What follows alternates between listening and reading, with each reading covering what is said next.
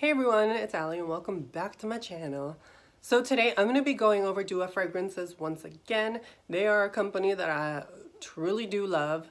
Um, they're just amazing all in all. What they do a lot of the time is they replicate really high-end designer and niche fragrances and you basically get them for like a fraction of what they would be costing to buy and this is their takes on those fragrances. So it's kind of like a dupe company. Um, there are certain fragrances out there in this world that I will probably never buy. The ones that are like $1,000, $2,000, $3,000. And what Dua does is they get their hands on those fragrances, they replicate the um, scent profile and they create their own inspired versions of those fragrances. So you get to try out those fragrances. Um, and to me, that's kind of important because I find perfumery to be an art form and one that I feel like should be preserved, like with any art form, including art. Um, just like a painting, I feel like we should preserve that, you know? And what Dua does also is that they seek out vintage formulations of fragrances that help build up the fragrance industry that were iconic back in their day. And they replicate those fragrances and then they allow you to try it for yourself. See what was the hype back in the day. And I think that's so amazing. You know, like they sourced a really old bottle of Mitsouko from Guerlain and they created their version of it and I just think that's an amazing thing. Like, I don't know of any other company that's trying to preserve history like that and bring back fragrances that are really hard to find and almost inaccessible to most people. I think that's really cool. You know, they do their own inspiration of high-end designer and niche fragrances. Um, they resurrect vintage or discontinued fragrances. They have their own creations. They have their hybrids that they do as well they just have something for everyone. So if you're a person that you're on the fence and you don't want to try out, you know, a company that does their dupes of other fragrances because maybe that doesn't align with you and um, how you feel, then there's something for everyone because like I said, there are Dua originals as well. And these are their original takes on fragrances. So they're not inspired by other fragrances. This is their own creation. Or if you want to try their hybrid combinations, then try those out. I have raved in the past about Poseidon's um, Jazz. It's a combination of Creed Aventus um, for him and Replica's Jazz Club combined into one to create a new fragrance. And I love that fragrance. It's unisex. Men can wear it. Women can wear it. Literally anybody can wear it. And it is the most addictive, woody, vanilla, bright, aromatic, just gorgeous fragrance. It's everything I could want in a fragrance. And that has it. And I'm just like blown away every time I smell it. It's so compliment getting. It's so addictive to wear. It smells so good on everyone. Any guy wearing it, I will immediately swoon. Any girl wearing it, I'm like girl boss. Like it's just that kind of fragrance and it's that dang good. And I rave about it so much because it's literally that amazing. I love that hybrid um, combination that they created. And to this day, it's probably one of my favorite ones I have ever tried. Um, nothing can com compare to that one, at least nothing that comes to mind right away. But whenever I think of like my favorite hybrid, my mind immediately goes to Poseidon's Jazz, which I think is really funny. Um, I don't know why. I'm just like, it's more marketed towards men, but trust me, my girls out there, try it. You probably will not regret it. Um, it's just that dang good. But yeah, anyway, back to the video. Today I'm going to be talking about 200 ml um, fragrances that I just added to my collection from Dua Fragrances. And these are two that I was so excited to try out. And they are a gourmand affair and a chocolate affair. Since this one was announced, I was immediately like, well, that's obviously happening. And I knew I was going to get it in my collection. Um, I was so excited. I wanted to see what Dua's take on a gourmand fragrance would be. And the second I saw this one was going to be announced last year, I knew I was going to get it. Which is funny because I'm not the biggest fan of chocolate, like the note in general. Um, it's just, it's good. I like it, but it's kind of boring and linear. And I find a lot of chocolate fragrances to be very boring and linear. So I was interested to see Dua's take on a chocolate fragrance. And I went into it like with my hopes high and expectations high. And when I tell you they met my expectations, I'm telling you they met my expectations. I love this chocolate fragrance and we're gonna get into it, but we're gonna start with this one first. Um, and yeah, this one is a Gourmand Affair. by Dua Fragrances. It comes in the standard 100 ml bottle box, uh, bottle, the 100 ml box. Um, it says a gourmand affair on the front. This is what the back looks like. It just has some writing back there. I think it's like the ingredients list. When you open it, the fragrance sits in here. This one is a beautiful, let me put this down really quick gradient that it has. My camera doesn't do it any justice. I am going to upgrade my setup, but as y'all know, I film on my phone, so the quality is, as the kids say, shitty AF. Um, it's not the best, but this is what the bottle looks like. It has this beautiful gradient. You can't really see it too well because like I said, shitty camera. Um, I'm doing it from a phone. But it's like this dark green that goes up to this sort of more lime green and I love it. And you've got this weighted cap that is reflective. It's beautiful. Just all in all, I really love these glass bottles. I love the cap. They feel luxurious. But yeah, we're here for the scent. And you guys, this, if you are a fan of gourmand fragrances and you haven't been able to find a summer gourmand fragrance that you can wear in high heat, then Heart Be Still because this is the one, you guys. This smells tropical. It's sweet. You definitely get the coconut in this. You've got notes of tangerine, coconut flesh, coconut water, heliotrope, vanilla, cupcake, orchid, um, amber, vanilla, and white musk. Like, there's quite a bit of vanilla. There are two heaping doses of vanilla in the mid and in the base of this fragrance. And you guys, oh my gosh, this is so, so good. The atomizer gives you the most fine mist. I love what these atomizers spraying it in the air and sort of walking through it. I find the distribution to be so good and it really clings on so well. All Dua fragrances are extracts, um, so they're really high oil concentrations and they're meant to last all day. And this one really does last all day on me. But this is just stunning, you guys. In the opening, you get that burst of tangerine mixing in with the coconut flesh and that coconut water. It's really interesting because I would almost classify this as a tropical aquatic gourmand fragrance, which when I think of gourmand fragrances, I don't think of aquatic like at all. And this gives me sort of like aquatic tropical drink, like holiday drink vibes. Like I feel like when I smell this, I'm sitting on a beach. I have a big coconut and I am drinking it. It's got like vanilla rum inside of it and it's almost like a vanilla rum coconutty sweet concoction. That's what I get from this fragrance, you guys.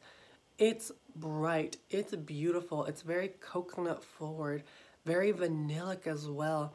You get slight floral nuances, but nothing too prominent. The most prominent thing I get in this is the vanilla mixing in with that sort of cakey, um, coconutty effect. But to me, when I smell this, I get the most beautiful tropical coconut dream, coconut dream, coconut drink on a holiday vacation. That's what I get from this. It's bright, it's fresh, it's slightly aquatic, which is where I'm getting this sort of like um, holiday drink vibe. It's very coconutty, very sweet, but it's not overbearing in any way. It's almost like it never becomes truly gourmand um, but it has gourmand elements, which is really, really beautiful and such a unique, interesting take. I've never experienced a gourmand quite like this one that leans in so many different directions and plays in so many different ways. But if you're looking for a coconut forward, very vanillic, semi-aquatic fragrance that's going to do beautifully in summer and high heat, then look no further than a Gourmand Affair. This is a stunning, I would say almost vanilla cupcakey vanilla like aquatic fragrance that leans in a gourmand way because like I said, it reminds me of a very tropical drink sitting underneath like a palm tree. If you want to experience that, then you guys, look no further and do yourself a favor and get yourself a gourmand affair in your life because it's really quite beautiful and there's no other way of explaining it other than that. It's a beautiful, sweet, tropical drink that's been spiked with like vanilla rum that might be a little cupcakey as well. They might have put some frosting and some whipped cream up in there too. Like, it's just really good, you guys. I really like it, and like, I cannot wait to wear this in high heat because I feel like it's gonna perform so, so beautifully. And yeah, those are my thoughts on a Gourmand Affair. The next one that I'm going to be talking about is their most recent launch. This launched for the Valentine's Day holiday. um, week, and that is a chocolate affair. The packaging looks like this. They got limited edition packaging um, for this fragrance. Everything about this fragrance is completely different than the other 100 mls. I really love the packaging. I think it's really cool. I don't even want to get rid of the box. I think it's so sweet. It opens up like this. The fragrance sits inside. I am in love with this fragrance and the bottle. Like, I think they knocked it out of the park with the packaging on this one. And it's so freaking cool. Like I could see why it took a while for them to get the fragrance, um, the bottles. This fragrance was postponed a couple times because, at least for the launch, because the bottles um, were taking a minute to create. They are all, I think they said hand etched and they're just so beautiful. Like it's got almost like this textured glass and then this smooth glass effect that goes through in stripes. It has the beautiful Dua logo and then it says a chocolate affair on there as well. It's got this beautiful weighted gold cap and what I love about this is that it's on there tight. Like you can hold it from this and like you, I don't you don't even have to worry about this falling. Like, I'm like not even worried. Like I could do this and like and I know this is a deadly game I'm playing right now, but like legitimately this is how tight the dang cap is. It's not going anywhere and I'm kind of here for it and I love everything about this bottle is just like aesthetic goals. Oh, you guys, but this fragrance, you've got notes of Sicilian bergamot, bitter orange, you've got that cacao, tonka bean, a steamed hot chocolate note in this as well, chocolate liqueur, chocolate cognac, um, chocolate infused coffee, and white musk. When I spray this, you guys, also the mist, just like any of the Dua 100 ml bottles, is exquisite when you spray this, you get a heaping dose of citrus in your face. You get that bright bergamot mixing in with the slight bitterness of the orange. It's not overtly bitter, but there is a slight bitterness in the orange. Um, but the bergamot is what's really shining through. I definitely smell the tonka beans and that steamed hot chocolate note is very present in this. What's interesting about the steamed hot chocolate note is that that note mixing in with the um, tonka beans adds a sort of like slightly powdery, almost slightly coconutty effect, very slightly on my skin at least. It becomes kind of coconutty, um, or at least that's what it translates to my nose. Um, it's almost coconutty because of the milk mixing in with the tonka beans. It's very sweet, and something about it reminds me of coconut, at least on my skin. But it adds a sort of powdery effect. It's like the opening hits you with that super bright, juicy bergamot opening. It's very bright, slightly powdery because of that steamed hot chocolate and that tonka bean. But as it starts to settle down on the skin, it starts progressing and becoming more and more chocolate-like. All the chocolate notes start to come out in the mid, in my opinion, and they start to remind me of these little chocolate, um, coffee chocolate liquor infused candies my parents had in the house growing up. I remember stealing them from the cabinet when I was younger and like trying them out and feeling so cool because they had alcohol and I was like underage and eating this chocolate and I was like, ooh, I'm getting drunk. Even though I had like one, I was stupid growing up. But it reminds me of those chocolates. As it progresses, it's sort of boozy. You get that slight, it's very slight. It's not at all super coffee-ish in your face, but there's a slight coffeeness to the fragrance coffiness, a slight coffee effect to the fragrance.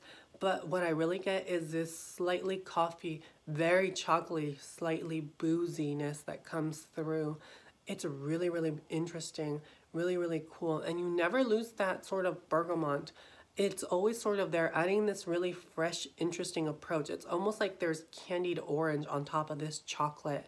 It's almost like a candied orange um, coffee chocolate infused like liqueur chocolate thing.